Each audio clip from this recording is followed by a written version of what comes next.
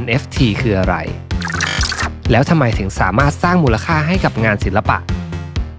การเข้ามาของเทคโนโลยีบล็อกเชนได้สร้างความเปลี่ยนแปลงในวงการการเงินอย่างมาก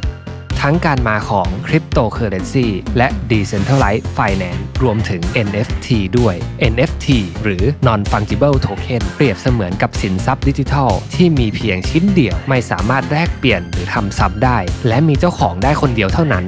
ในโลกแห่งความเป็นจริง NFT จะทำหน้าที่เหมือนใบรับรอง บนระบบบล็อกเชน ที่แสดงความเป็นเจ้าของหรือกรรมสิทธิ์ในสินทรัพย์ดิจิทัลรูปแบบต่างๆ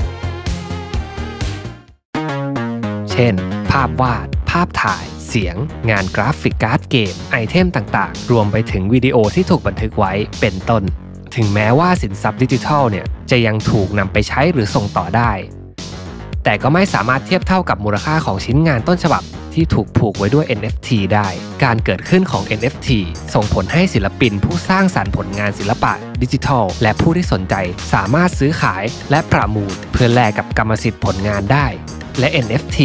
จะส่งผลให้ชิ้นงานดิจิทัล ที่เป็นชิ้นงานดั้งเดิม มีมูลค่าเพิ่มสูงขึ้น หากตลาดมีความต้องการกรรมสิทธิ์ของชิ้นงานนั้นมาก เปรียบง่ายๆ เหมือนภาพวาดโมนาลิซานะครับ ที่ต่อให้ถูกนำไปผลิตเป็นโปสการ์ดหรือเสื้อยืด แต่ผู้คนก็ยังให้ค่ากับกรรมสิทธิ์และภาพวาดจริงมากกว่า ในปัจจุบันการซื้อขาย NFT มีแพลตฟอร์มที่เปิดให้บริการมากมาย อาทิ OpenSea Nifty หรือ Gateway โดยใช้ตัวกลางหรือระบบการซื้อขายแลกเปลี่ยนผ่านบล็อกเชนนั่นเอง